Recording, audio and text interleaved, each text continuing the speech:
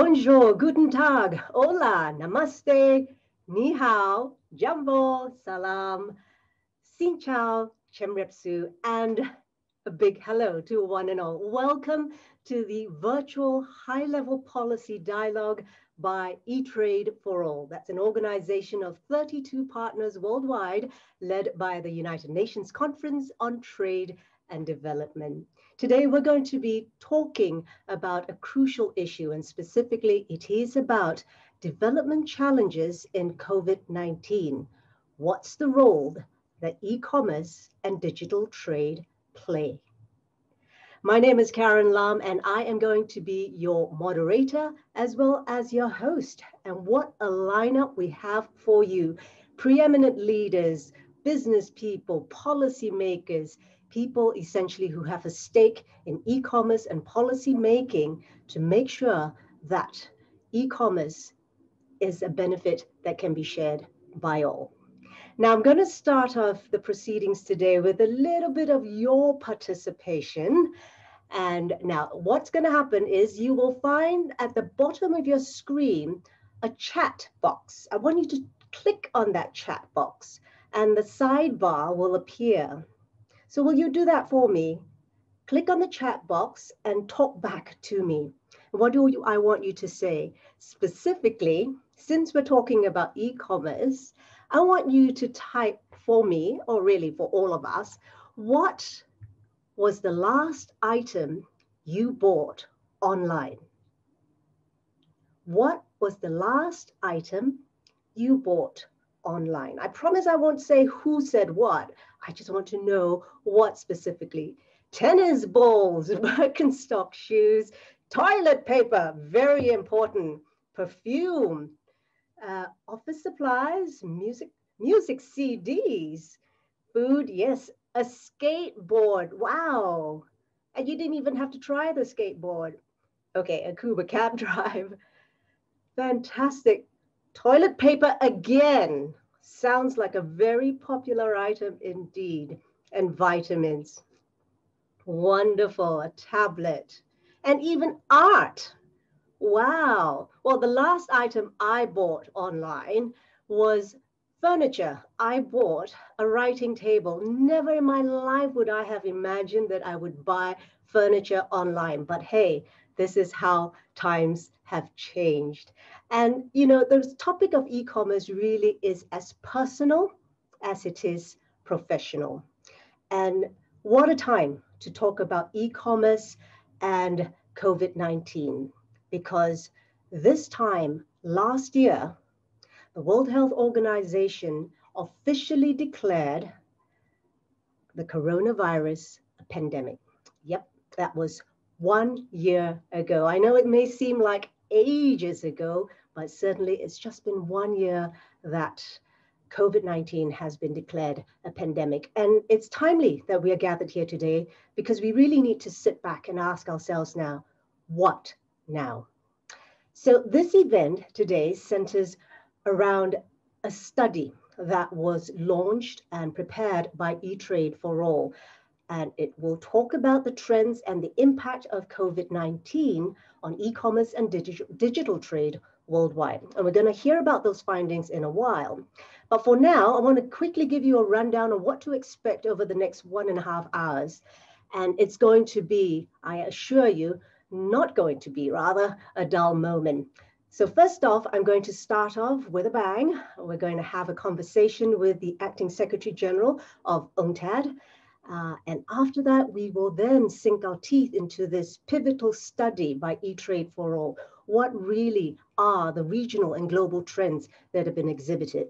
This will be followed by some insights from Latin America and the Caribbean from the ECLAC representative, and that's the Economic Commission for Latin America and the Caribbean, before we hear a word from one of the sponsors of the eTrade for All study. When that is done, we will then sit down and have a panel. And this is going to be an interesting panel of four speakers, both from the private as well as the public sectors, who will share their views and their insights into the development of e-commerce since COVID-19 hit. And finally, we end off strong. We're going to have, and we're very privileged to be able to have with us the president of the United Nations General Assembly, who will join us for his closing remarks. So, shall we open up with a person who has been instrumental in both global as well as regional changes and, and policy making amid economic change. And she is, of course, the acting secretary of UNCTAD, Ms. Isabelle Durant. Ms. Durant, how are you? Fine, thank you, Karen. And I have to ask you this question, since I've asked everyone else. What was the last thing you bought online? Yes, I was thinking on that, uh, reading the, the chat. So my last uh, purchase was a gift for my grandson, a, a, board game, uh, Harry, Harry Potter board game. But the specificity is that I bought it directly to the producer. And I went to the website of the producer in order to buy it. Was producer close to the place where it has to be delivered. So unintentionally, I bought uh, directly to the producers in order to order uh, the, the game there to the producer. How precious. What, what effort. I hope he appreciates it. I hope, yes, it is a case. I, I can assure you. All right, let's get down to business, shall we, Ms. Horn? Now, tell us about this global study that was done by E-Trade for All. Why is it so important? And more specifically, why should we care? But we have all uh, seen that the last year, all a lot of things changed regarding, uh, of course, digital issues, and it's why we are there to discuss through the screen. Uh, a lot of things change. Our societies are totally transformed, and it's true that this uh, boom in the digitalization and especially in e-commerce is something which is a, a fact that we have to observe and to learn about what was happened and who, how it could happen in the future. Because we knew that we knew that that um, yes, a, a certain certain digital gap exists already.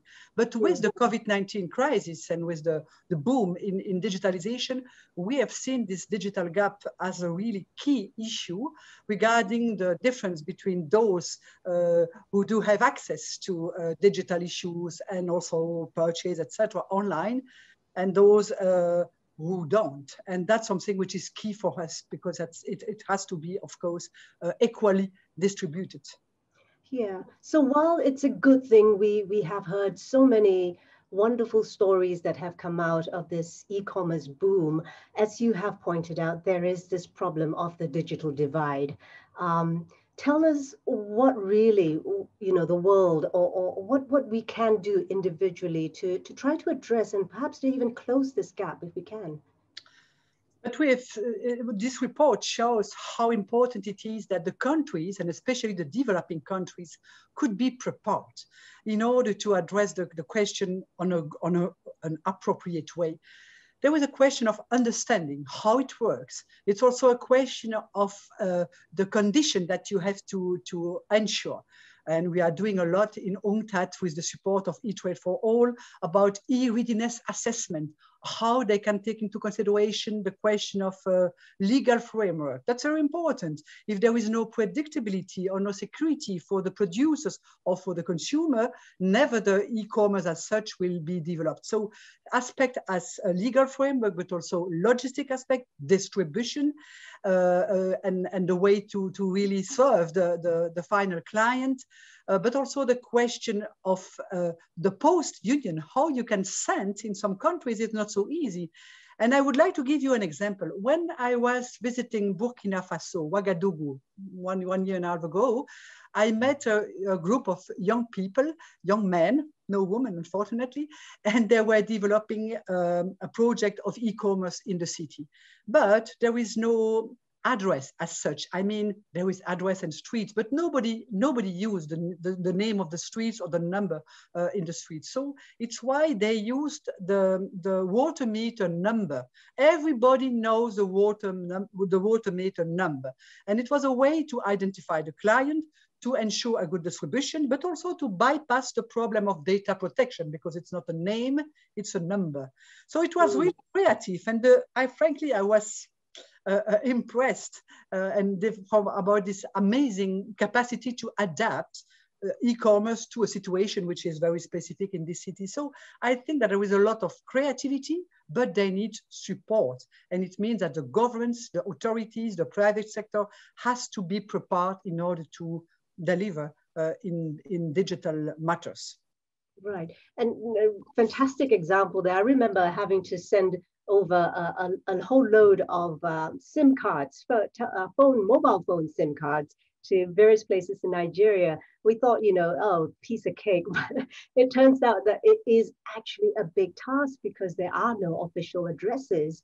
And so in, in many ways, that's, that's really low hanging fruit for governments to, to, to put into place. But in your experience, you've mentioned several things that can be done, the legal frameworks, you know, the, the postal services. What has been perhaps the most effective strategy that you've seen put in place since the pandemic hit?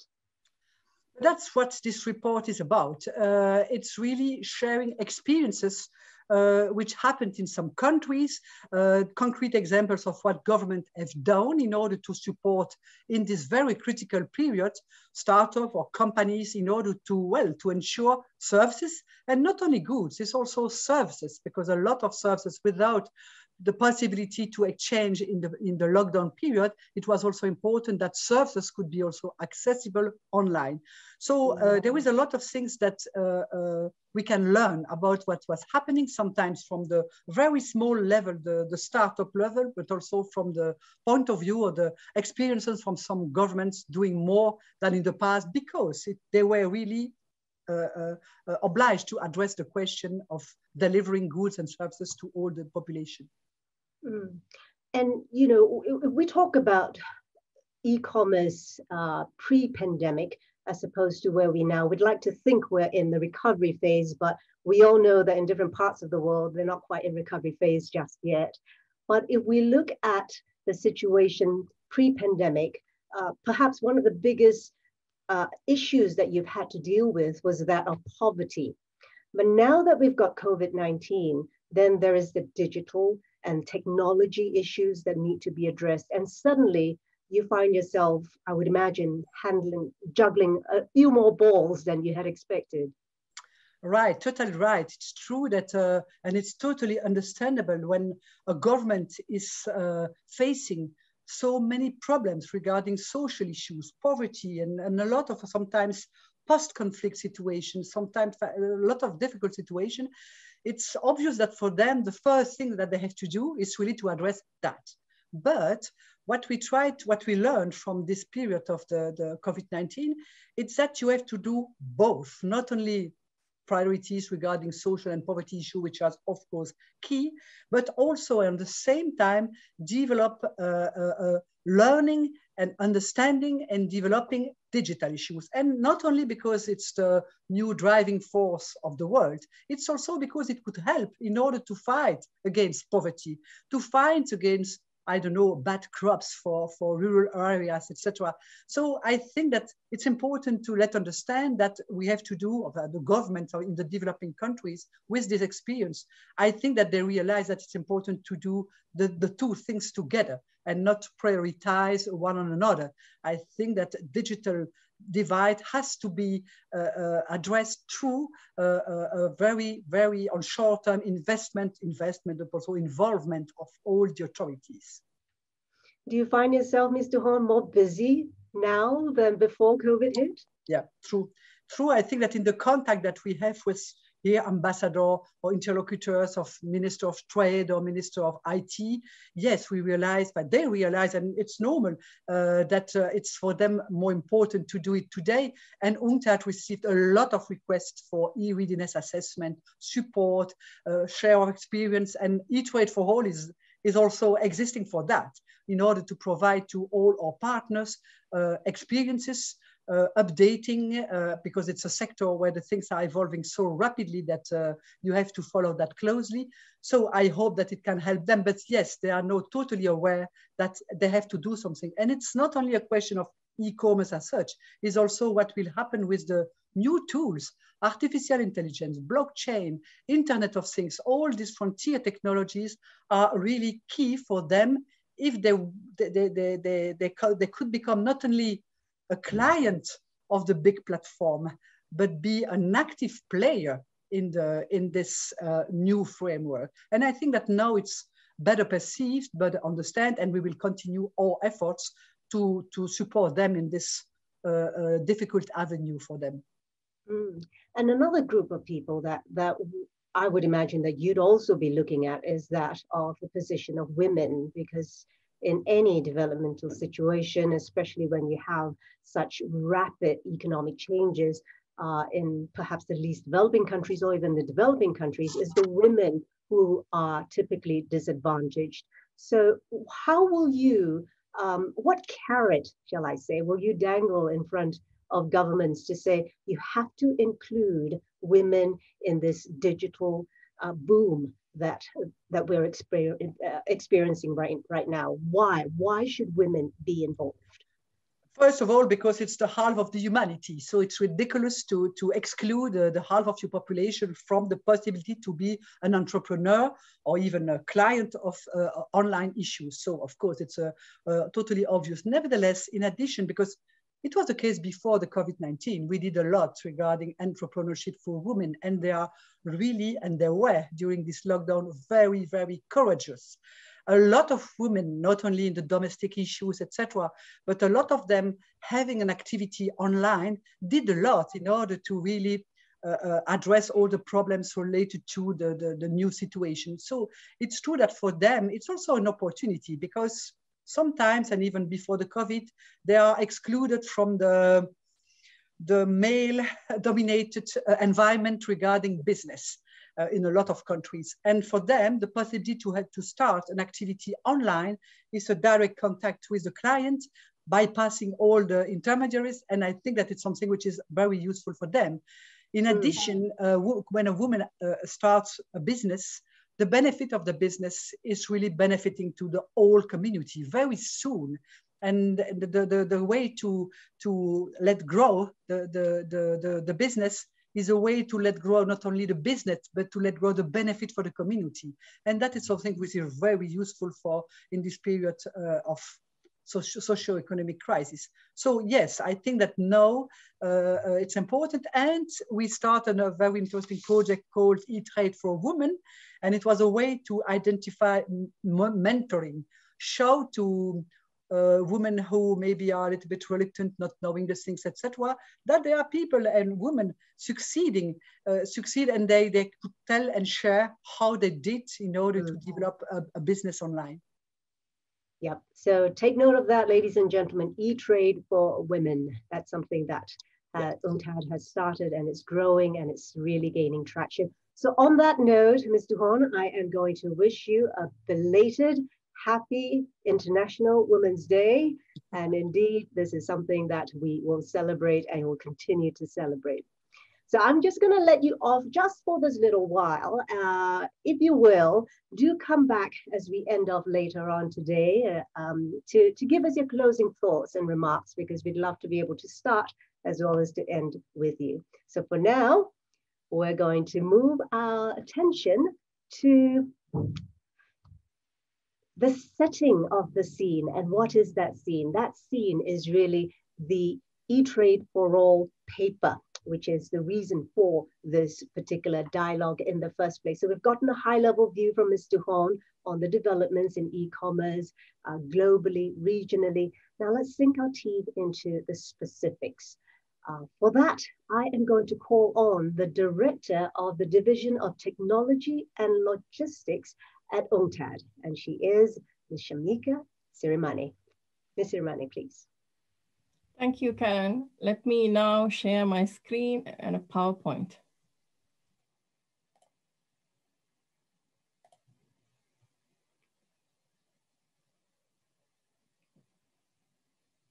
Oh, there's something happening. Just give me a minute, Karen. This always happens. Yeah, it I know. 20% of the time, out of five, uh, out of five calls we make, there you go you're on screen now. You can see, okay. Yes. I have to do a little more juggling here. Let me, give me a few seconds.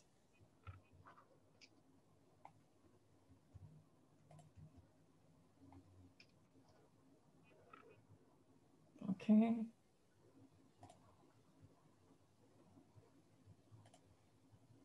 Okay, I think I'm on.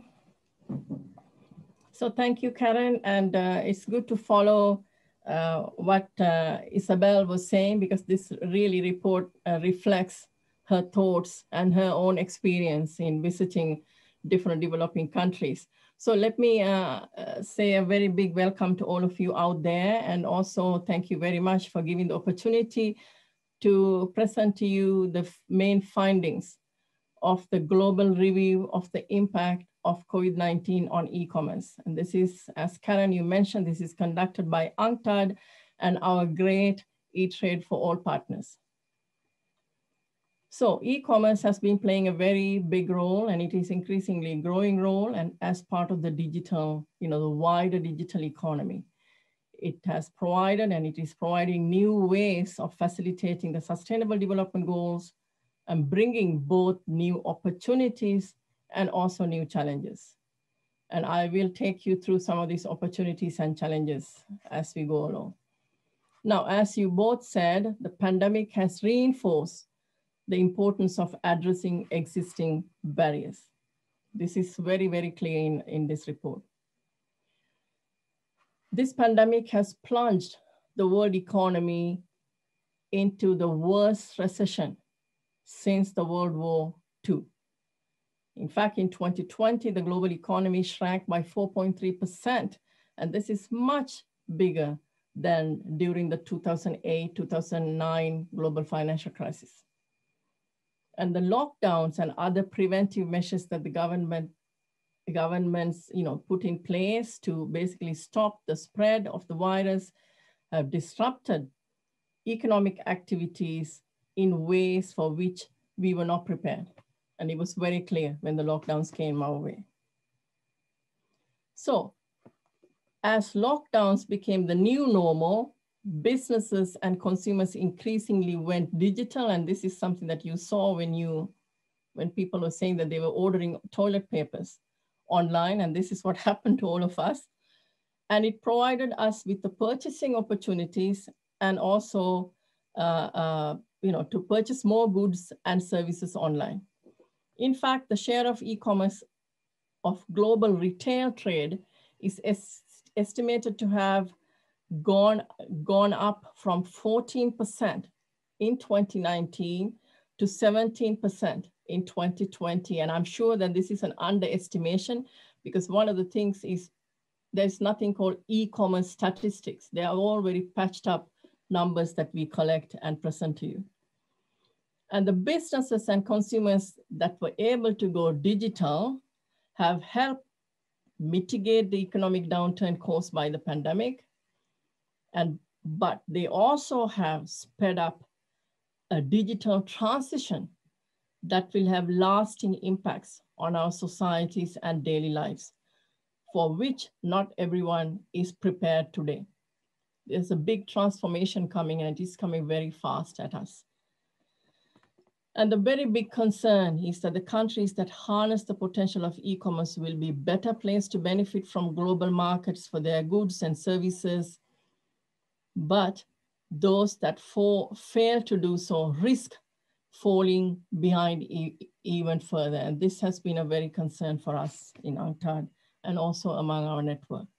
So let me give you a couple of regional trends now. Mario will take us through some more. So our report, for example, shows that the strong uptake in e-commerce across regions. So this did not happen in one region. It's, it's a, a cross-regional phenomena. And Latin America's online marketplace, Mercado Libre, for example, sold twice as many articles per day in the second quarter of 2020 compared with the same period the previous year. Mario, we will, you will take us through some of these numbers.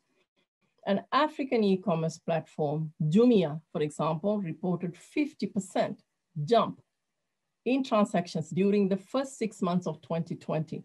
And the lots of such numbers are there in the report. Now, consumers in emerging economies have made the greatest shift to online shopping in fact, the 50% of them, we believe, will continue to shop online more often than before. So the transformation has happened and it is happening very fast in emerging economies. And also we want to bring to your attention that the, this pandemic has also benefited the world's leading digital platforms and most solutions being used for e-commerce, teleworking, as we all know, and cloud computing. And these are provided by a relatively small number of large companies based mainly in China and the United States. Now, to the other side of the story, in many of the world's least developed countries, consumers and businesses were not able to capitalize on the new e-commerce opportunities due to persistent bottlenecks and barriers that uh, our ASG just mentioned, lack of connectivity, costly broadband services, you know, no payment systems, lack of consumers' trust on online activities, digital's lack of digital skills, and the list goes on. In fact, these gaps are also reflected in our e-trade readiness assessments. It's a key spin-off from the e-trade for all initiative that we have. And we have done these diagnostic studies in 27 countries and uh, you know mostly LDCs and some developing countries. And the story emerging is very much the same. So the risk is that the huge digital divides that already existed between and within countries will only worsen in the wake of this pandemic. The result will be even deeper inequalities that would threaten to derail progress on SDGs. And I'm, you know, this is, has been our concern for, for, for a while now. So to now to let me take you to through quickly about the policy responses and so and, and recommendations. So we say in this report, as the shift to the digital economy has been accelerated by this pandemic, there is a need for greater efforts by three main stakeholders to secure more inclusive benefits from e-commerce and the digital economy. First, the governments. Governments need to prioritize national digital readiness so that more local businesses can become producers in the digital economy and not just consumers. Building an enabling e-commerce ecosystem requires changes in public policy and business practices to improve the digital infrastructure, facilitate digital payments, establish appropriate legal regulatory frameworks, uh, and so forth. So the, and the approach must be holistic. And it cannot be one ministry's business, ICT ministry is doing one thing and trade ministry is doing another thing, industry is doing something. It has to be a holistic approach to digital development and their policies and strategies should not be made in silos and it would not simply not work. And the second recommendations are for the digital entrepreneurs and they must become a central focus of efforts to capture value in the digital economy.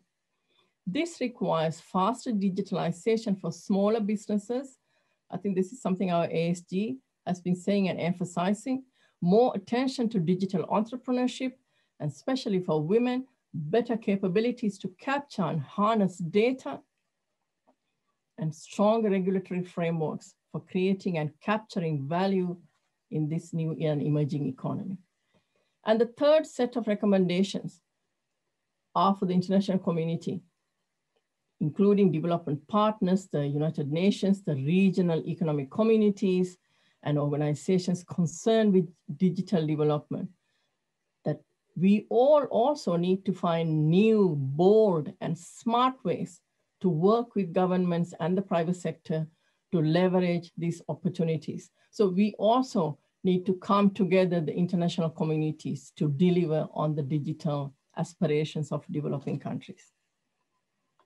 So only through active collaboration can we ensure that e-commerce and the digital economy will play a powerful and positive role in national and international efforts to build back better. In fact, this pandemic has demonstrated the importance of ensuring consistency and avoiding duplication in international efforts. And for over the past four years, the E-Trade for All initiative has shown the potential for collaboration and adding value, especially in the, in the least developed countries. So this is for us, is a good practice example that we, we intend with our partners of 32 uh, agencies intend to keep on going at. So Karen, just to end, I just also want to mention that this all this work will not have been able without generous financial support from our donors. And uh, here, let me uh, thank especially Estonia, Germany, and Netherlands for this particular work, uh, the, the, the, the, study that we have done. And let me also thank the KAS Foundation, which basically sponsored the global review, which provides the basis of our conversation today. And I'm very happy that uh, Mr. Wientzek is able to join and take this conversation forward. So let me stop here. Thank you, Kenneth. Thank you, Sirimanne, Ms. Sirimanne. And yes, uh, Mr. Wientzek will come on in a little while. But before he does, though, uh, Ms. Sirimanne mentioned Latin America, and he meant, she also mentioned Mario. Now, this is where I'm going to bring Mario Castillo into the picture to give us a view of what's happening over there in Latin America and the Caribbean, because he is the director of the International Trade and, Indus uh, and Integration at ECLAC, which is the Economic Commission for Latin America and the Caribbean. So Mr. Castillo, tell us what's happening in your part of the world.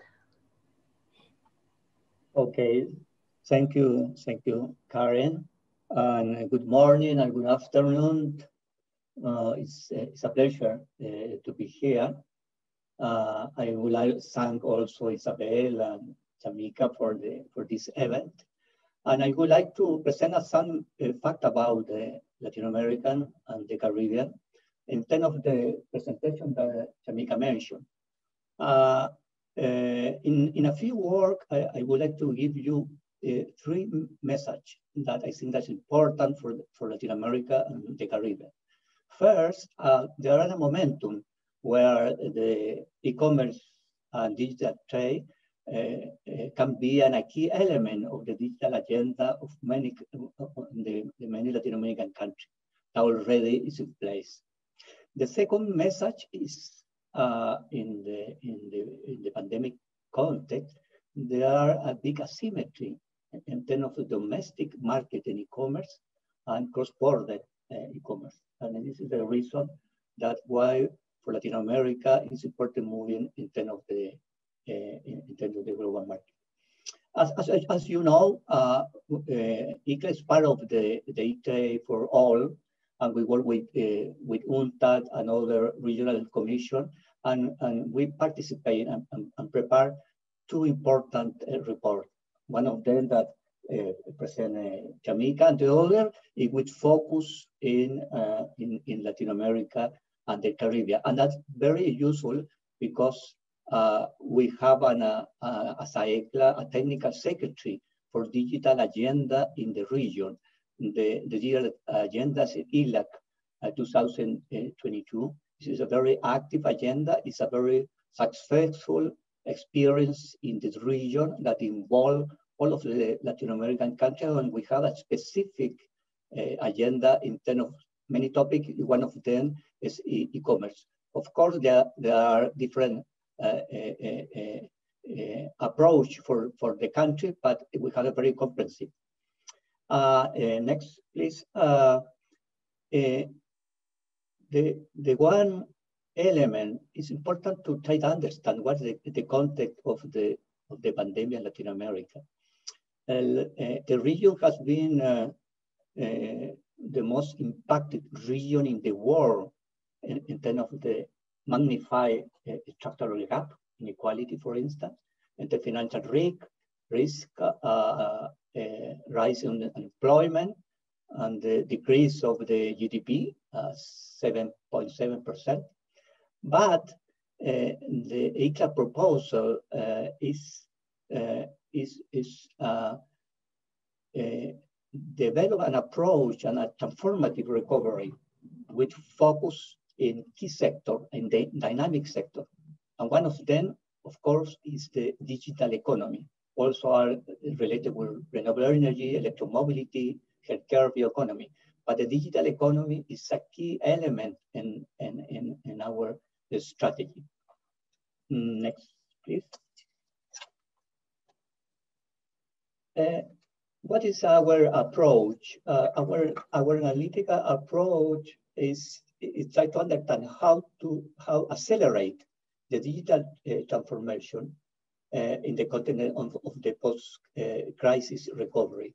What the idea, of course, we are uh, face an important economic crisis, but we have to converse with the new reality instead of the online, uh, the new online consuming model, but also with the business model of the all of the sector in the economy, also the, emergence of the new technology, where it's, it's important the infrastructure of, of, the digital economy of uh, 5G, uh, cloud computing, Internet of Things, uh, uh robot, and other emerging technology. And then we emphasize an agenda with, with priority in different levels. One of them is with social inclusion uh, agenda, other related with the productive resilience and also with uh, sustainability. Uh, next, uh, please. Uh, in terms of the for instance, is one of example in terms of the, the, the social uh, priority. Uh, in Latin America, more than 40 million uh, households without internet connection. And this is at, the first uh, priority, especially in the context of the pandemic, and, and, and to access to services, access to education, access to uh, remote work and the uh, ECLAC uh, uh, proposed invest, invest 1% of the GDP and annually in a basis digital basket uh, to universal broadband access. This basket is consists in, in, in device, laptop, tablet, smart home, and uh, internet plan. And since this is, in, this is an important initiative because we have to resolve the gap of the access that already there are in the region because 33% uh, uh, of the urban household and, and seven, more, more than 70% of rural area are not connected uh, so far. next, please. In the context of the pandemic, and uh, Shamika mentioned, in the Latin America, uh, you can see an uh, important asymmetry you can see in the Mercado Libre is the main uh, uh, marketplace in the region, uh, show an important growth in terms of the e-commerce. But on the other side, the cross-border e-commerce flow decrease.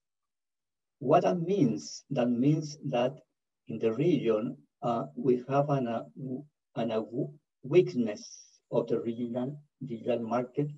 And this is, is, is one of the key elements in terms of connectivity, in terms of, of the logistic, uh, in terms of the regulation. Uh, next, uh, please. And finally, uh, what is the conclusion in the in the, the framework that that the, the, the report? Of course, uh, the pandemic reinforced the policy agenda to strengthen the role of e-commerce in the recovery. Uh, for us, for the region, it's important the, the coordination uh, with the public uh, uh, uh, private sector, and also intend to reinforce the national digital agenda in the context of this strategy. it's important also to try to understand what this kind of the public policy need the new approach in the digital industry policy. You know, because one of the important uh, aspects is related with the competition and how to regulate, for instance, uh, the big marketplace platform and develop a new space on the region. Uh, in specific area of e-commerce, of course, digital connectivity is important, trade facilitation and logistics. We're working with the main block uh, uh, of integration in, in Latin America like to Mercosur or like to Pacific Alliance and, and other mechanisms of integration. And the idea is to put the, the digital strategy and the e-commerce one, one of the key pillar and element. Uh, and finally, regulatory, regulatory framework for electronic payment is important in terms of to facilitate. And I think that there are many opportunities in, in, in this uh, regional uh, dialogue. And finally, I would like to thank to, to uh, UNCTAD and, and all of the, the team that work in the, in the report uh, are very useful for the work that are already in place in the region. And, and, and thank you so much for this space. Thank you so much, Mr. Castillo. As we can all see, there is a lot of work for all of us to be doing.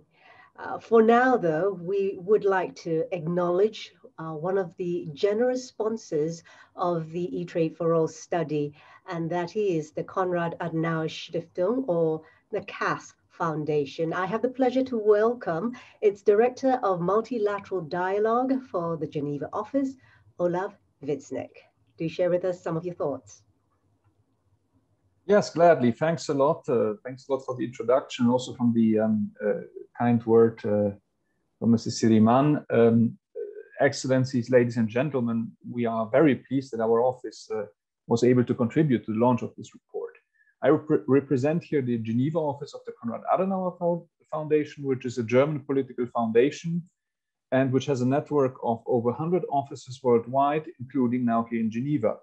Our core aim is always to raise awareness about the work of the multilateral bodies here in, in Geneva towards um, policymakers and politicians, not only in Germany, but also in um, Europe and in the world.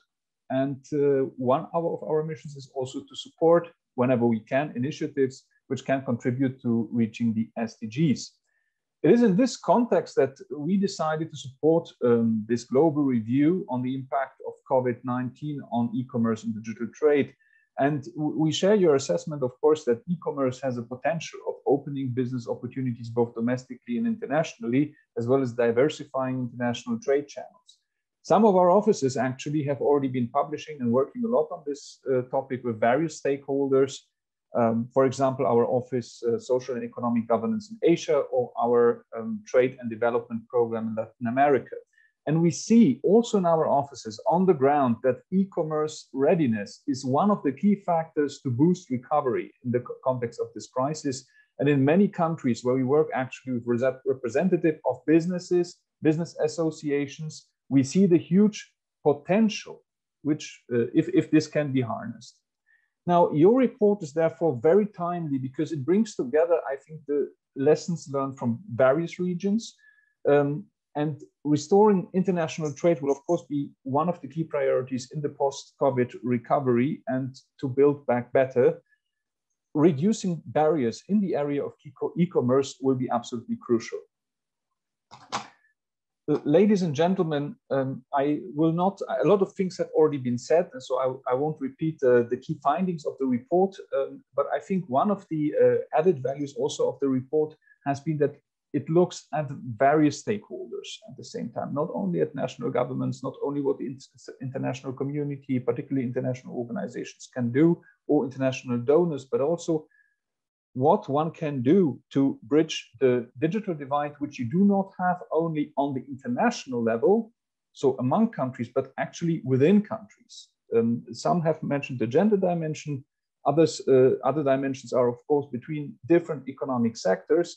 And therefore, um, one of the uh, one of the biggest pluses of this um, report has been its uh, very, its wide scope and its comprehensiveness, also regarding um, uh, these actors. And actually, a lot of steps which have to be taken now in order to best uh, harness the potential of e-commerce um, will demand a lot of very different steps of very different actors. And this will demand, of course, a regular conversation between international organizations and donors, national governments, and the private sector. And UNCTAD is certainly one of those international fora where this conversation can be taken, can take place. Um, and building on your projects, such as the E-Trade for All platform or the e-commerce week, I think we can exchange about lessons learned from the pandemic, best uh, practices, and inform all stakeholders about uh, successful e-commerce strategies. I will therefore not delay this interesting discussion any longer, and I'm looking forward to hearing from our experts uh, in the panel about their experiences and their recommendations. Thanks a lot.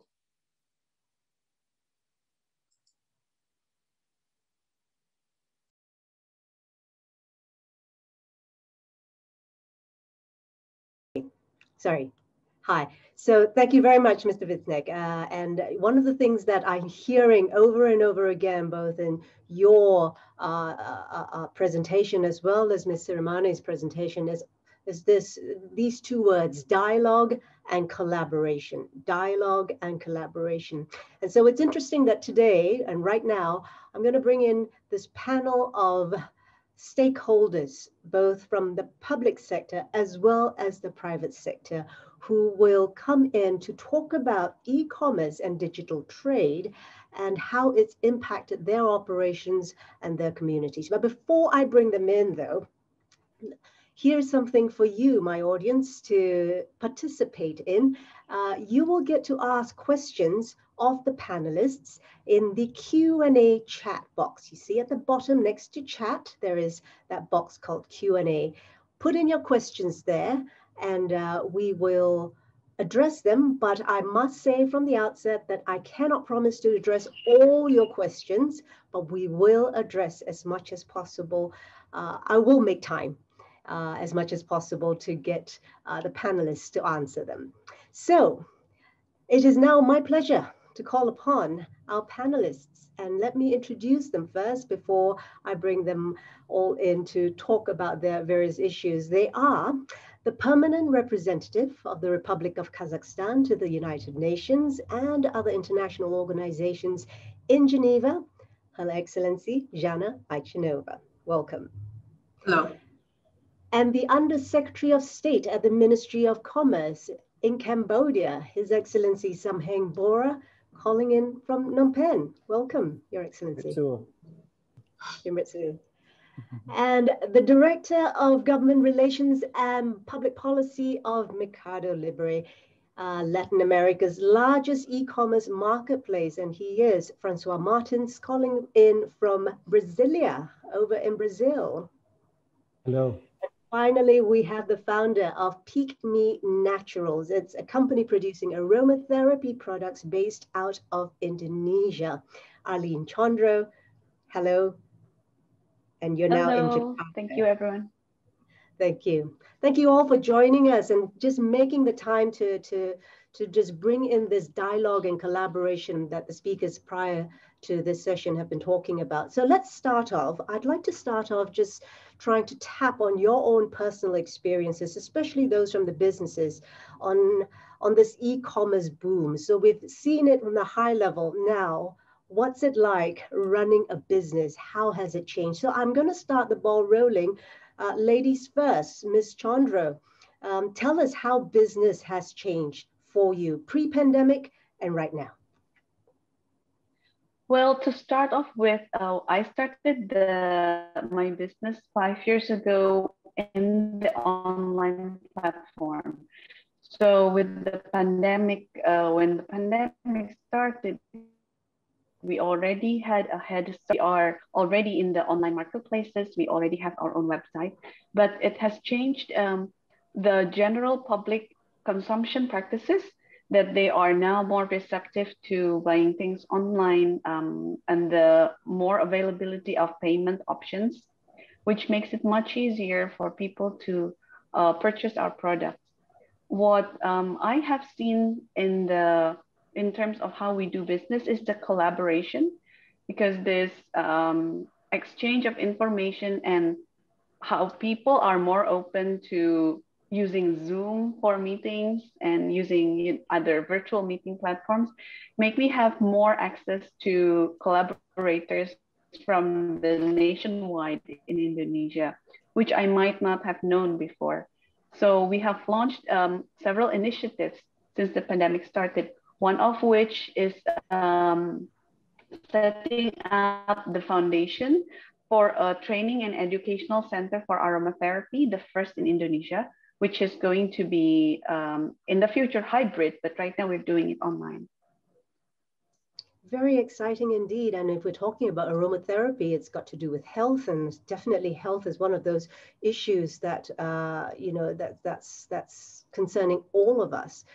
So, can I now turn my attention to Mr. Martins? Uh, Mercado Libre. It serves 18 countries in the region.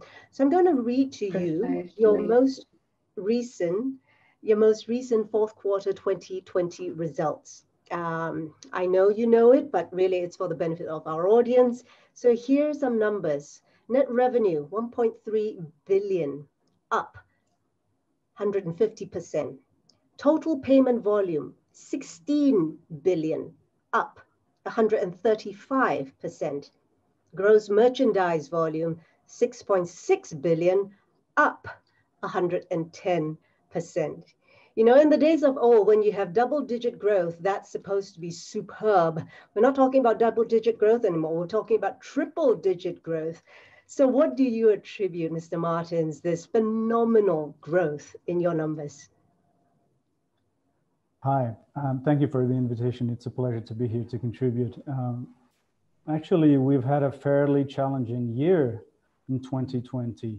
It, although it does not seem like it, and those numbers are uh, highly um, representative of the effort we put in with our collaborators at this company. But you know, with the pandemic going on, you cannot uh, avoid uh, respecting social distancing, and I think it contributed a lot. What happened really is we were uh, in a position to offer the services that sellers and buyers needed uh, there for them to be able to remain at home and, and be able to keep safe. So what we did really was put in place all the digital services that we were developing for the following years.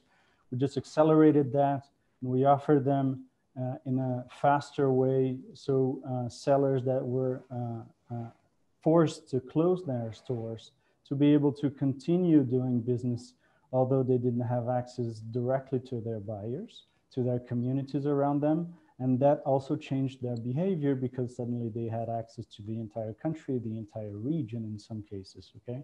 So um, this was one aspect of, of what happened. Also, the people buying things online suddenly had access to a much larger uh, panel of sellers and goods and prices and uh, circumstances in which they could acquire what they needed. And certainly also they could acquire all the things that did not think to buy online, they would think of doing so now because they didn't want to leave their homes. So I think those two factors at this moment were crucial and uh, we were able to develop the tools that were needed for that to, to follow on.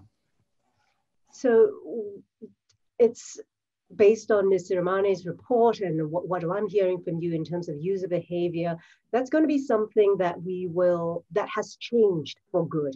The question is, how sustainable is this exponential growth? Are we going to see a tapering off of the numbers in terms of growth? You know, what we've seen during this year is uh, we have 57 million new users of those 4.9 million new sellers. So this is a really uh, uh, categorical behavior, uh, behavioral change. Okay, so I don't think this is going to go down. What you see is, you know, we, have gone through a threshold. This is a new step, a new base, and e-commerce is going to develop from this new base on. Uh, I'm not promising that we'll have triple digit growth for, for 2021. We'll do our You're best. going to be disappointing your shareholders now. I cannot promise anything in that sense, but what I, what I can promise though is that we are building on new things that weren't, weren't going to be available uh, in the planning because we didn't have the capacity for that uh, planning, planned. And uh, now we do have that in place. So um, uh, my colleague mentioned payment solutions we do have them in place that we're not going to be able, and I think that's a new paradigm. Very exciting indeed. I'm going to turn my attention now to the, the, the public sector, to the policymakers. So, uh, Excellency Aitzhanova, now Kazakhstan has also seen e-commerce volume doubling, if not tripling, uh, because of the lockdowns, because of the quarantines. Can you please share with us what are some of the recent e-commerce activities and policy developments in Kazakhstan? Thank you, Karen. Thank you for inviting me to this very important forum. And I'm very, uh, I'm, I'll be very glad to share with you the recent developments in Kazakhstan. As you have rightly mentioned, the pandemic has revealed a serious perspective for further development of e-commerce and growing opportunities for businesses as well as consumers.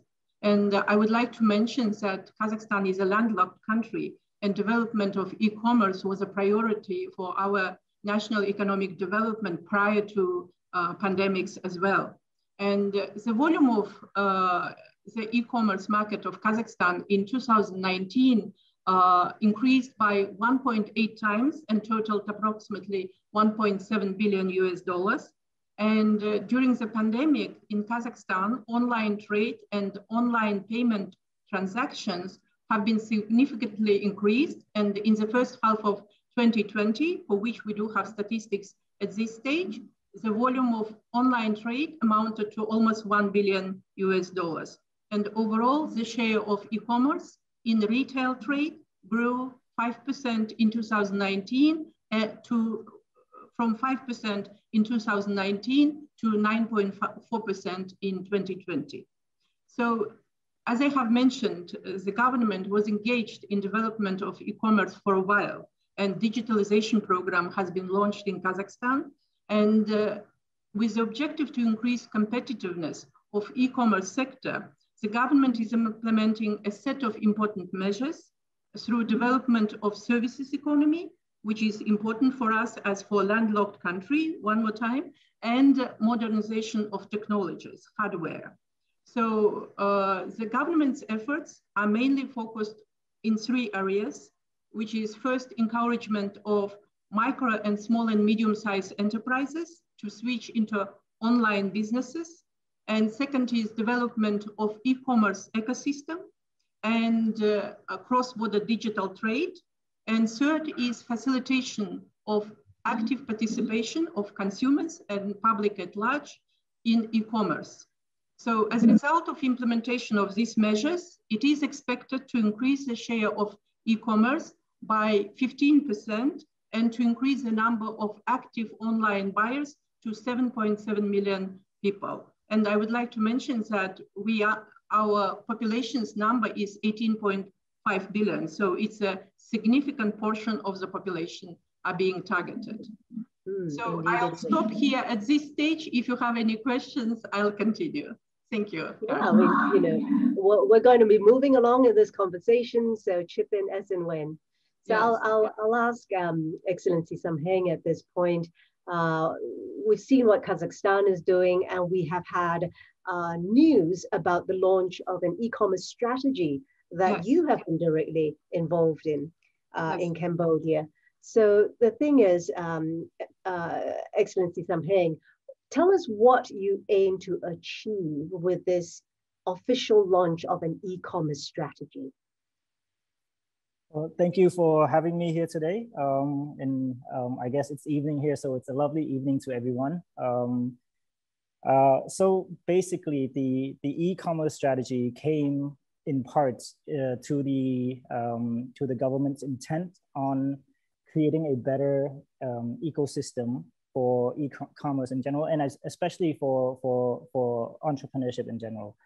Um, I think it started out from the phase four of the uh, rectangular strategy as well, and the NSDP, as well as influenced by, I guess, all of these are, are some of the projects that we are partnering with EIF to, to do as well with the and UNDP. And this include the, um, the, the, um, the Cambodia trade integration strategy um, that goes into 2019 and 2023. Um, all of this comes together uh, in a combination where we want to push um, the new generation of, of uh, I guess, generation is the wrong word, the, the new industrial revolution as it all uh, is uh, known as. Um, this was before the pandemic, pandemic happened. And you know, the talk of the town was getting into this new industrial revolution, uh, how Cambodia will be able to leapfrog into this industrial revolution because Cambodia is, you know, uh, slightly behind in terms of technology and all that. So this was one of the reasons why we needed to push into that sector. We wanted to develop our labor force. It's a very young and vibrant labor force that is very open to new learning, um, very susceptible and accepting to new ideas. And this, it was, it was like a, you know, it's like fire catching on, you know, dry, dry plants. It, it was just when the pe- when the kids, you know, they started adopting social media, they started to adopt um, new ways of communication through technology. This was when we, uh, we realized that it's a necessity to ensure that there is a strategy to spearhead um, the, the new adoption of technology. Um, I guess, um, I guess in short terms, but there is a lot more that I could say, but I don't know if there is the time permit to it or not. I am sure, I'm sure that, I mean, but maybe at this point, do you have a, any personal experiences uh, on on you know your interactions with the young people because they're the ones that that's going to take this to that next uh, lap. I do actually. I am. Um, uh, I guess I am. You know, at that age where I'm not as young as I once was. um, I'm. I'm. Uh, Looks I'm are all my... that matters. So you look young enough.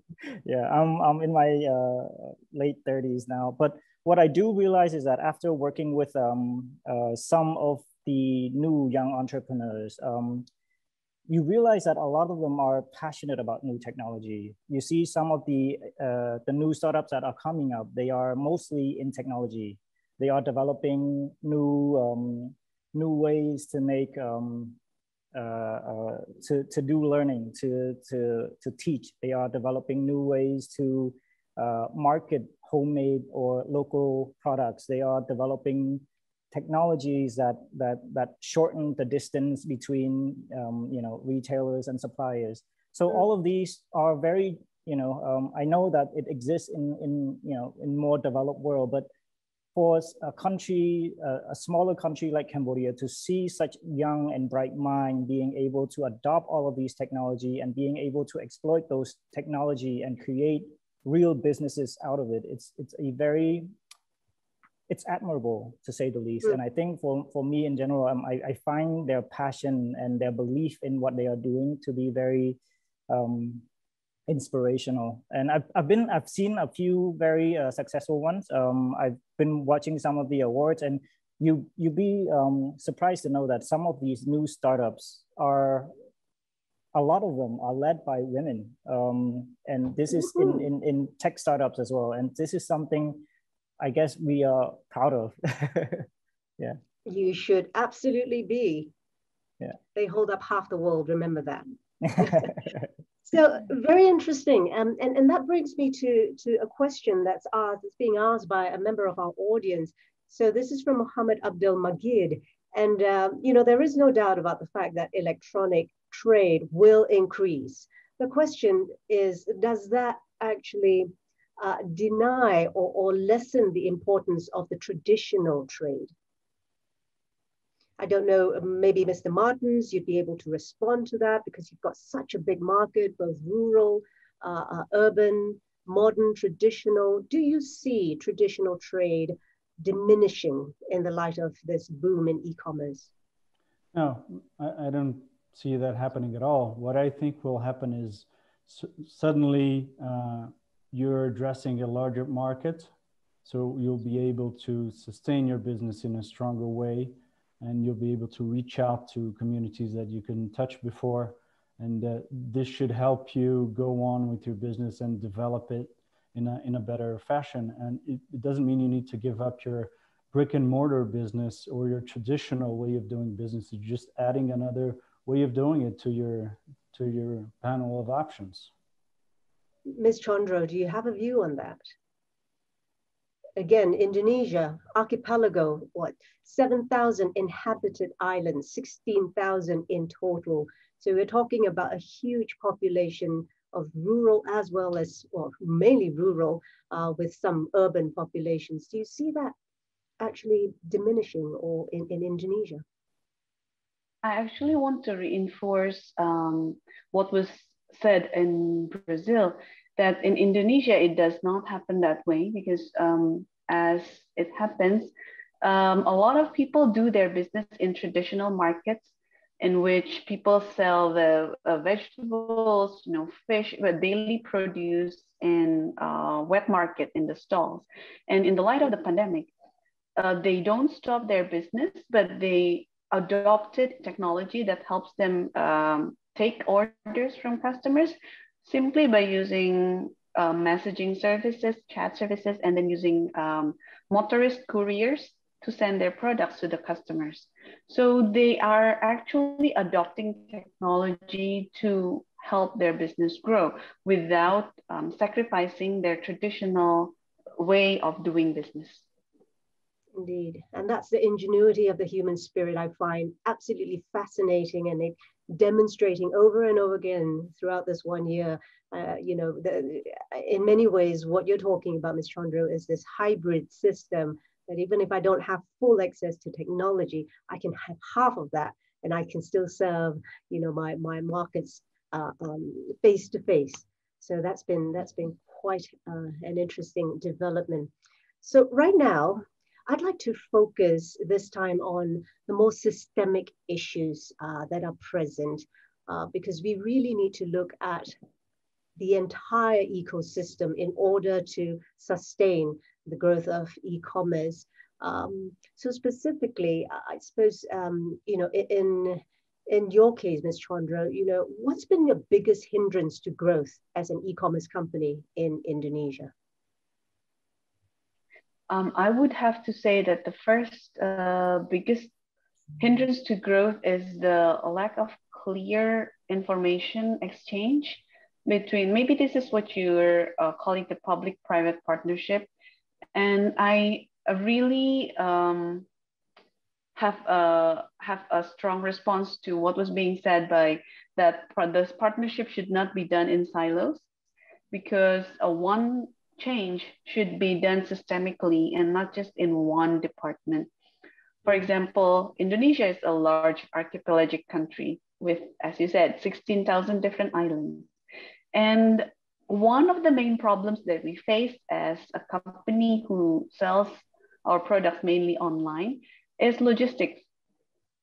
And um, this is a real story. So people on smaller islands, uh, about maybe about 100 uh, families in that island have no access at all to food and to other products. So they have to carry to ferry any produce, any um, needs at all from the bigger islands, which is at least two hours away. And they are markets that are inaccessible by us. So even the Indonesian Postal Service cannot reach them. The private couriers cannot reach them at all. So what we can do is what they do when they need their product is they ask someone, their family or friends in the bigger islands, to ship the products to them in a weekly basis or a, in the ferry that goes maybe every day or just once a week. Mm. So if the that is where the government is really needed, especially because Indonesia is very large. Yeah, it's a very, very unique issue uh, that Indonesia faces. Um, Mr. Martins, there's Mercado Libre, and, and there are quite a few similar questions coming uh, your way at this point. Um, from this one is from Nanno Mulder. So, uh, and he's asking, and this is actually along my, my, my line of questioning as well. So I understand that Mercado Libre, uh, you, you do facilitate international orders. However, you do not uh, have an exchange of goods uh, between or with uh, between neighboring countries. So if that is a fact, then naturally the question is why? Yes, that's a very good question. Um, we do have cross-border e-commerce uh, from outside the region into the region for supply re uh, reasons, you know, some offerings that are easy, easier to fulfill from outside the region. And indeed, we at this point do not offer cross-border e-commerce e between countries in which we're present because of mainly regulatory issues that we feel will uh, decrease the user experience to a level where it wouldn't be satisfying And this is not something that we want to offer to our customers, to our users. And uh, we do work a lot with governments. Don't take this as a harsh criticism. Uh, we do work with them, but you know we're we're working with the regulations in place, and it's not as easy as, we would like to change them from day one to day two. So this is why at this point we don't offer that. And I'd like to take the opportunity to build on on Ms. Chandro's uh, point. Uh, Brazil is not an archipelago, but it's a very large country. To take this country as an example, it could could apply to the region uh, as as a whole. Uh, it's hard to uh, reach to the populations uh, who are at some in some geographies think of the amazon you know we, we cannot just build roads and and airports and trains etc we have a forest to protect so we cannot just get there the way we'd get uh, elsewhere. Uh, think of uh, um, the the chain of mountains that we have in the region. Think of central america it's a very broad line of of, of land so um, it's it's the geography really makes it tough to have the infrastructure necessary. Uh. I think that's the the main uh, challenge we have at this point. Indeed, and and what about Excellency Aitzhanova? You you mentioned uh, a couple of times about uh, Kazakhstan being a landlocked country. Uh, what's what's the story with cross border trade?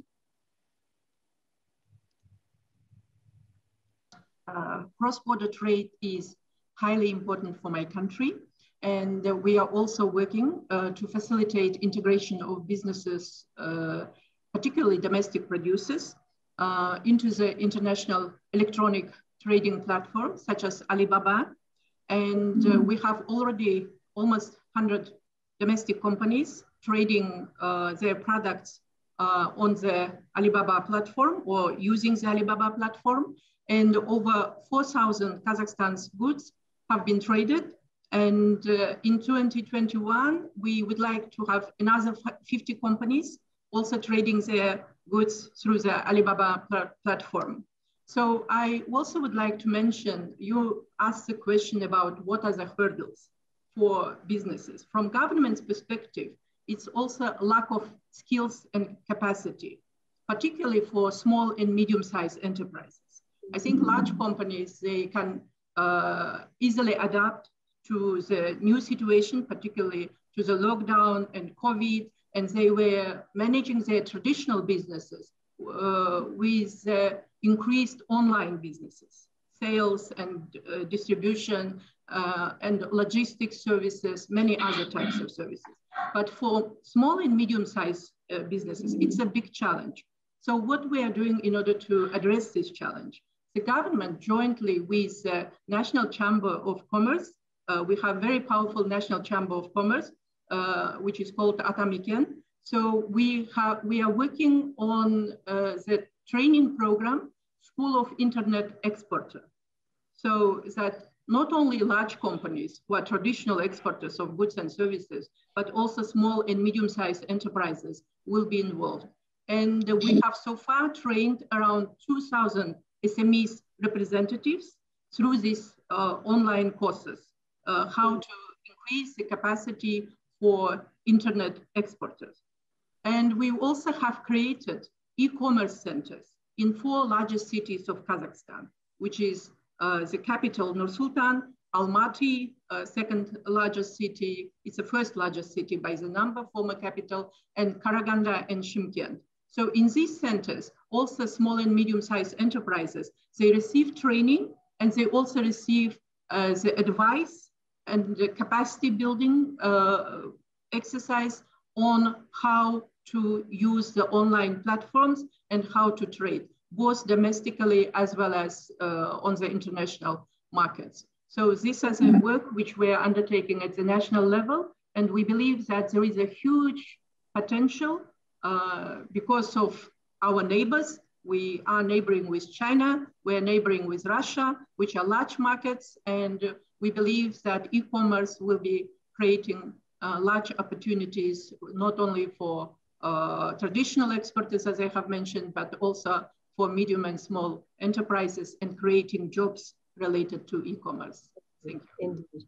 So that, that is certainly a, a much needed area to be looking at, um, upskill, upskilling your, your population. And and I'm pretty sure um, Excellency Samheng that this is also something that that's included in the e-commerce strategy.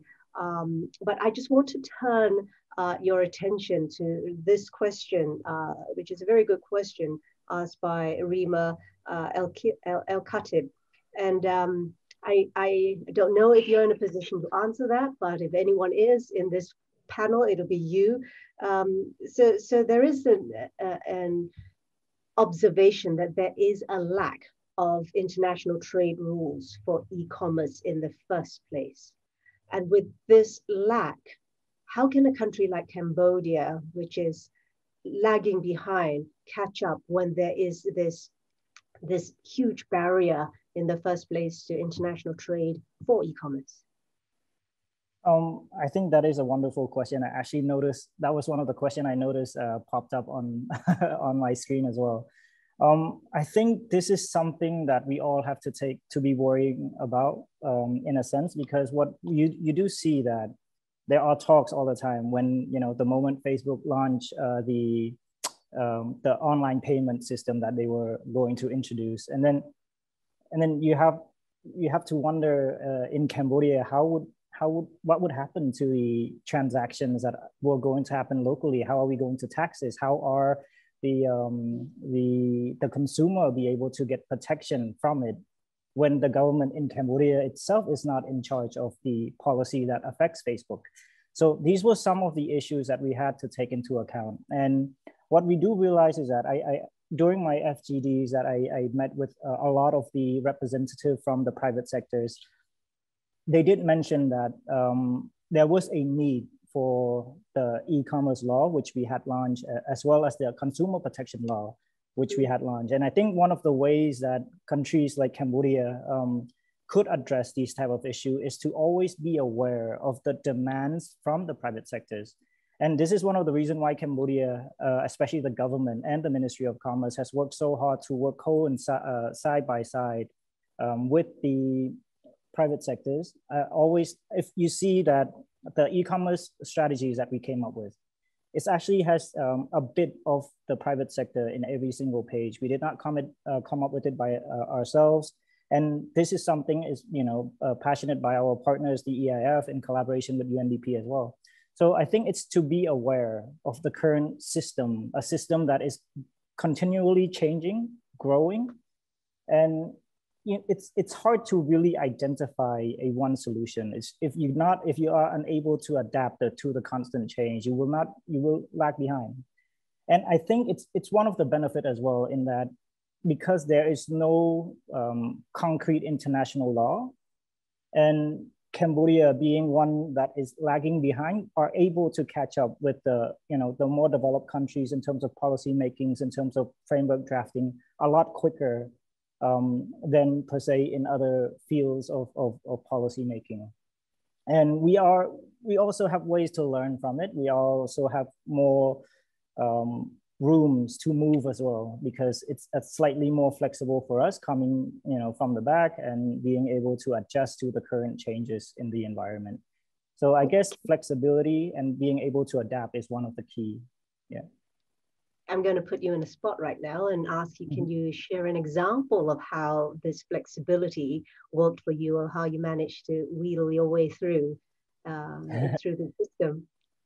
Yeah, um, this for I think for I, for me personally, I think uh, I, I hold on to the mindset that um, if there are complaints from the private sectors, there is some issues that you have to deal with. So every time I go into a, a forum or, and I do this very often, I go into forums and I meet with um, uh, different types of um, new startups in technologies, hearing them complain, hearing them uh, uh, come up with issues to, to address initially we had issues relating to things like there is a lack of um, dialogues between you know uh, B2, uh, uh, private public dialogues.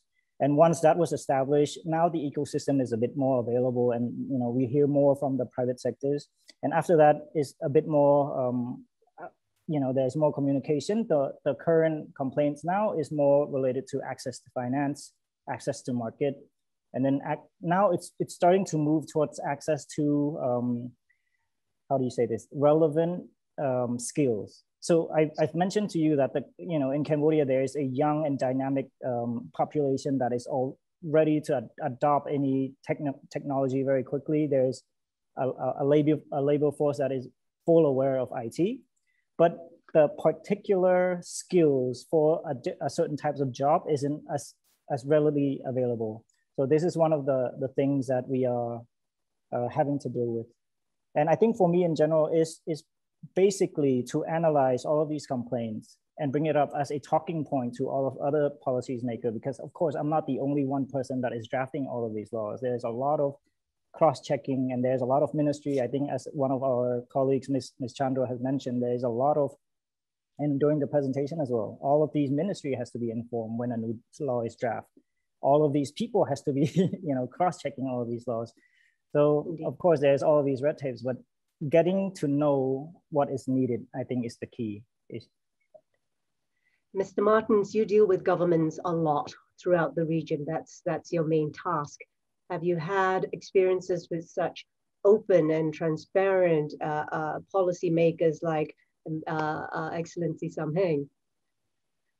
Uh, actually, I, I, was, you probably saw me nodding here because he was making some excellent points.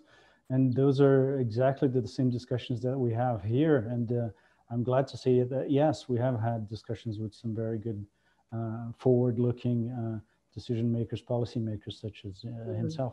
And the point about the skill set of the people that you might want to engage with and the, you know, the uh, people you might want to work with, that's absolutely critical. You cannot build a company on people who don't have the skill set for it. Yep, right.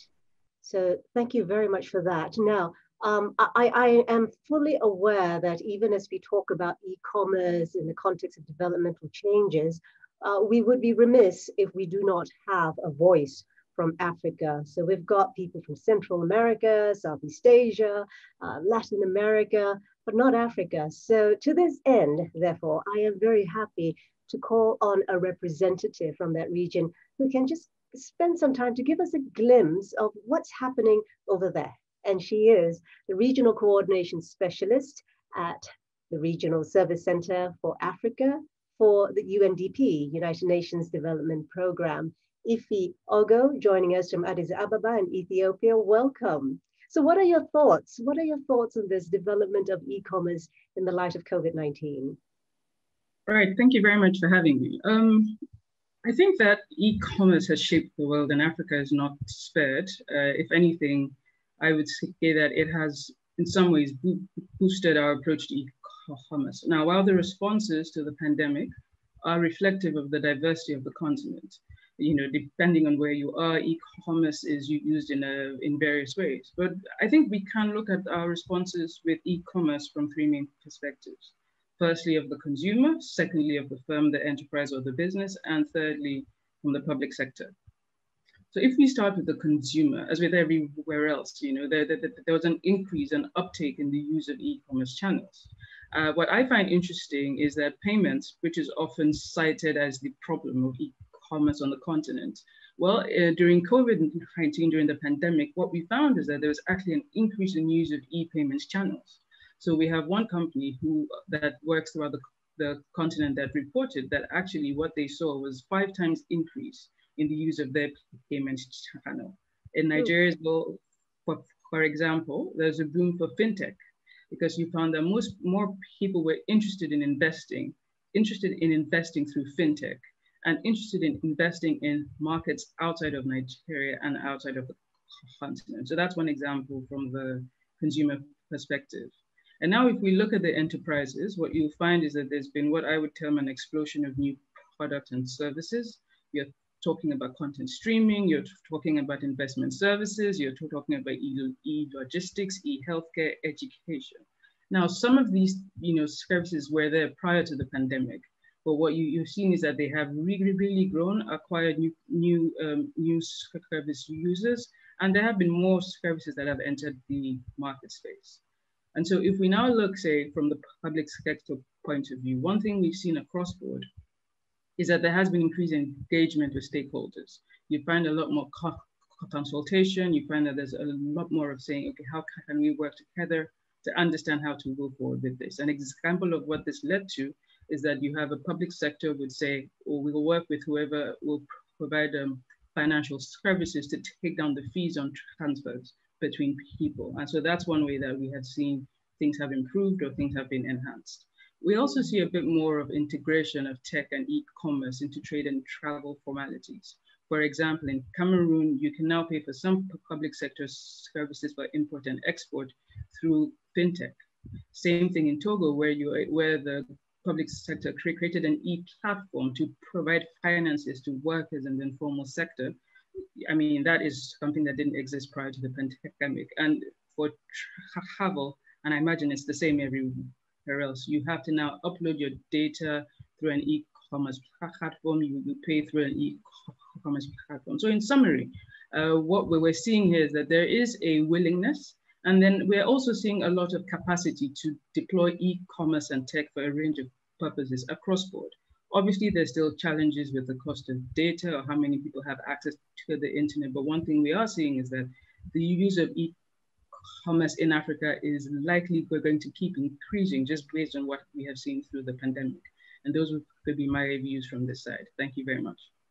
Wonderful. Thank you so much, Ms. Ogo. I think it's, it's certainly a very bright future that you painted for Africa. So it's about time for us to wrap up this discussion. It has been intriguing. I wish I had more time to, to get into your experiences a little bit more. But maybe at this point, I'm just going to give uh, each of you, each of our four panelists, uh, a little bit of airtime, but maybe just one minute each, one minute each, because we do have to keep the time. Um, since we have public and private sector representatives here, I'd like for you to sound out uh, to each other what's at the top of your wish list when it comes to collaboration with the other stakeholders. So let's start off with Excellency Samheng. What's on your wish list for better collaboration with the private sector? I think one of the things that I'm most passionate about is to help the accelerators make things real, make things happen. The VCs help them get straight to the entrepreneurs and get startups successful. So I think that's one of the things that I'm more passionate about. Wonderful. Great. And what about um, Excellency Aitzhanova? Uh, you know, what what's your hope in the area of international cooperation in e-commerce?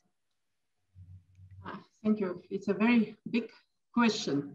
And I uh, would like to speak about my passion in e-commerce. I'm a chief trade negotiator. And uh, uh, we are negotiating in the WTO a future uh, global framework on e-commerce. And I believe that we need global regulations in e-commerce. Of course, there should be a balance between flexibilities for entrepreneurs, allowing them innovations and further rapid development as we see now, uh, but at the same time, for the protection of consumers as well as businesses, there should be a legal framework. And what we are negotiating now is very complex. So what uh, here I would like to mention, uh, the project which I'm working uh, currently involved in is with the United Nations Conference for Trade and Development and ITC, International Trade Center. We are working on a development of a legal framework for e-commerce in Kazakhstan. So we, uh, we have two uh, major objectives. First is to create an enabling legal framework on e-commerce in Kazakhstan. And second, to make us able to negotiate skillfully in, and protect our interests in the global negotiations on e-commerce in the WTO. So I would like using this opportunity to thank these two organizations who are helping us on uh, enhancing our skills to negotiate and to work on the development of legal framework. Thank you. Indeed. Thank you very much. And what about Ms. Chandra, your parting shot? Um, how would you like to see your government uh, realistically helping SMEs like yourself take advantage of this digital boom? I've been really inspired by what His Excellency Samheng and Her Excellency Aitzhanova said. Um, particularly in Indonesia, I think the role of the Ministry of SME and Cooperatives is very um, critical, especially the, because they can collaborate with the private sector accelerators to increase the skill sets of the SMEs. And then the Ministry of Trade can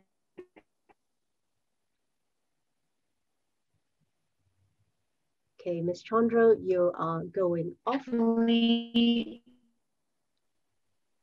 right. So I think. Okay. Well, Ms. Chandra seems to be having a little bit of problem with her with her internet access. She did mention that evenings are usually quite bad. So let's um, end of them with uh, Mr. Martins. Mr. Martins, um, what is what do you think will be the most effective and most immediate thing that governments can do to accelerate the sustainability as well as the growth of e-commerce? Okay, well, um, I cannot uh, avoid the opportunity to say that internet infrastructure is absolutely key to this as we can see. And now Ms. Chandra is having trouble. It has happened to me on other occasions. So I'm not making fun at all. I'm just pointing out that it's important. It um, it, it, I think the key concept here is to be user-centric. What we need to think really is what is all this for? You know, trade, e-commerce, platforms, access technology. It re it's really built to have people be able to sell and buy things on the internet and be able to get on with their Oh, lives and with their businesses. Um, okay, so I where think was I? to be user-centric I think, both. okay, um, uh, the, can, Sorry, Ms. you Yeah, it's uh, Mr. Martins is uh, speaking right now, so if you'd allow him.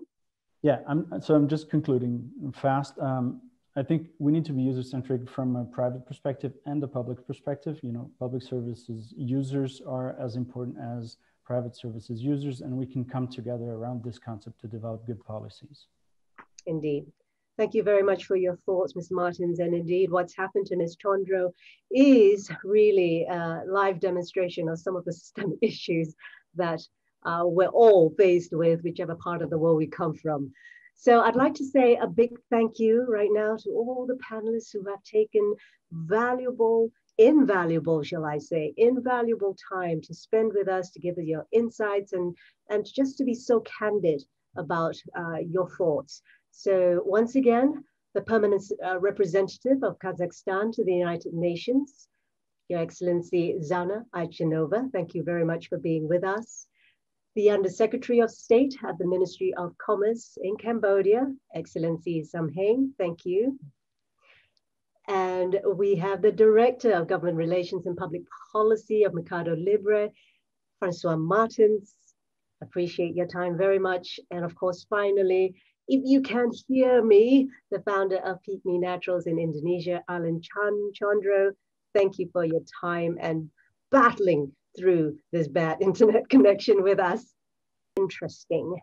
So at this juncture, as we approach the close of this event, we are privileged to be able to have uh, the President of the United Nations General Assembly to be here to give us his closing remarks. Your Excellency Volkan Bozkır, the stage is yours. Okay. Excellencies, uh, ladies and gentlemen, thank you for the opportunity to address uh, the closing uh, of this uh, important meeting.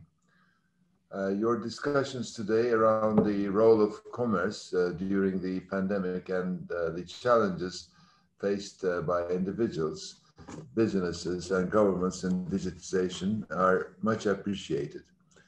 And the lessons learned during this period will be uh, many, and we cannot overstate the importance of understanding the obstacles so many have faced in shifting to a more digital world. Looking ahead, the trend towards e-commerce is likely to continue throughout recovery from COVID-19, becoming part of the so-called uh, new normal.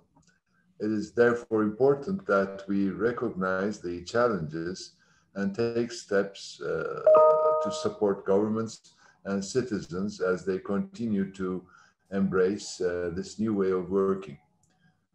Doing so requires that we work to expand connectivity and close the digital divide.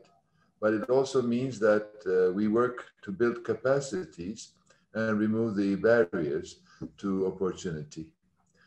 Today's discussions and the work of UNCTAD broadly have underscored three critical areas where greater efforts are needed. First, uh, we need to work with, with governments uh, to put in place the necessary policy changes and institutional architecture for e-commerce. This means amending legal and regulatory uh, frameworks to improve security and putting in place the digital systems uh, needed to enable online payments and other forms of e-commerce. Second, and concurrent to the first point, is the need to strengthen the capacities of local businesses and entrepreneurs. It isn't enough for the digital ecosystem to exist if people are unable to access it.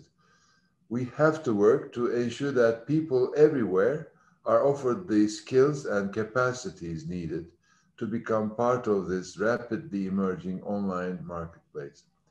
And finally, we, the global multilateral system, must uh, prioritize these efforts and support them as broadly as, as we can.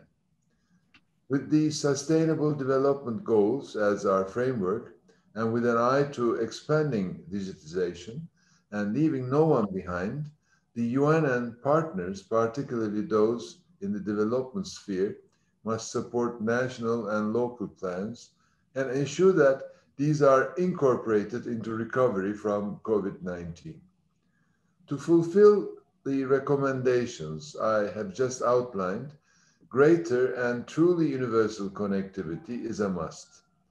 This means extending digitization to least developed countries, landlocked developing countries, and small island states, as well as to women and girls and other marginalized groups who are far too often the last to benefit from global advances.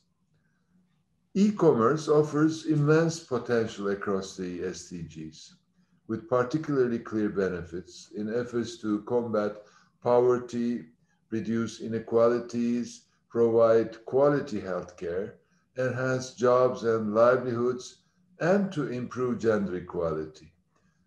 Uh, efforts, therefore, must be made to harness this rapidly emerging uh, tool. Excellencies, ladies and gentlemen, the barrier of the digital divide, which was real long before COVID-19, is a challenge which can be removed through our collective efforts and international support. I'm therefore quite pleased that the UN system is leading this conversation. In this regard, I will be convening a one-day high-level thematic debate on digital cooperation and connectivity on the 27th uh, April. And this high-level thematic debate will be held under the theme Whole of Society Approaches to End the Digital Divide. And it will provide a platform for frank exchanges amongst relevant UN entities, technology leaders, constituents, and stakeholders to further align work in support of member, member states' needs. The provisional program for the thematic debate was circulated on March 10th, so I, am sure you'll be able to have a look at it. It is my hope that these expert discussions, coupled with high-level political statements of intent and support, will build momentum and mobilize the international community to strengthen existing multi-stakeholders initiatives and partnerships and support the creation of additional partnerships to accelerate implementation. It will also encourage member states to be more engaged in digital governance as that will allow them to be part of the decision-making process. In closing, I must emphasize that the international community has both a moral and practical obligation to address digital inequalities. To do so would both expedite efforts to eradicate poverty and empower people everywhere, as well as fuel economic growth at all levels. This offers the possibility of new markets and sectors and is an economic win for all stakeholders. I hope you will join us in making this event a success. I thank you once again for the opportunity to join you today. I wish you all the best in your endeavors.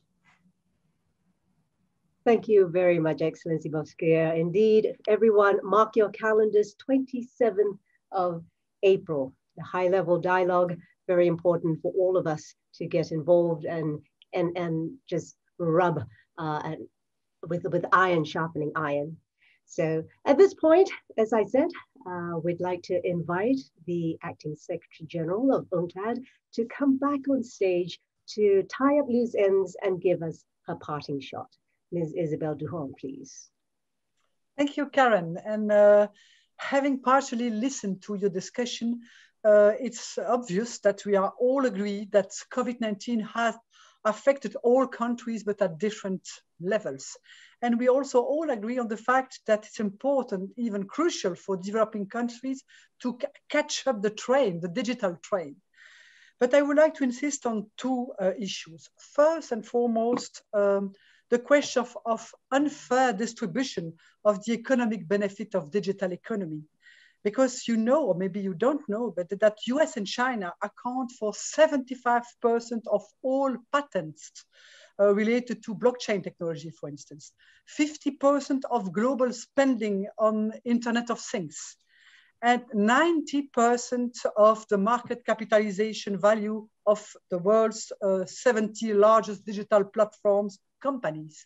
So it, it shows very clearly that there is an unfair distribution of the economic benefit of this digital economy. And it's more than ever important that developing countries could jump and become active player in this world and not only a consumer uh, in this aspect. So also because they have, we, it was said uh, often in the afternoon, they have uh, the biggest young population. And it's why also it's so important for them to jump in that. Second thing that I would like to say, it's digital and tech is not only a sector, it's a vector for development. And that's key because it's important that really the developing countries could benefit of that for them and for their development. It's not only a question of uh, benefit as such for the traders. It's so important to give the possibility to people, the population in developing countries uh, to, to have benefit of this digital tools. Finally, as it was just said by the president of the, the, the, General Assembly, the collaboration and the cooperation between all the partners is key. And it's why we started with this eTrade for all uh, uh, network, which is a network with a lot of more or less 30 uh, UN bodies plus private sector and a lot of people in order to really uh, put together our forces because the challenge is, uh, is huge. So um, thank you to all of the participants, uh, so those I see, but also those that I don't see because they are uh, uh, uh, under the screen. And I hope that the 27th of April, or even of course every day, we could work together in this, uh, in this field. Thank you so much, and thank you, Karen. Thank you very much, Mr. Horn. Uh, and, and many thanks to all of you, the audience, for joining us on, in on this dialogue. And this is really what we've been on about, dialogue and cooperation and collaboration. And you're joining us in this uh, uh, event is very important to us because we believe that that is the way forward. So on behalf of eTrade for All, I'd just like to thank you. And we do hope that you'll walk away not just with information, but really with concrete action. And hopefully it would inspire you to do something more for your community. Um, so we've seen clear evidence of the, the exponential growth of e-commerce. We've seen how technology has come into the forefront of our lives like never be before. We're even buying toilet paper online now. But let's not forget this, that our experiences is not necessarily everyone else's. And because the truth is, the rich will get richer and the poor will get poorer if we are not taking intentional steps to flatten the curve. And I'm not just talking about stemming the virus, but I'm talking about allowing communities that are lagging behind to catch up. So with that, I would like to wish all of you a most pleasant weekend ahead. Stay safe, be fulfilled, and goodbye. Bye. All right.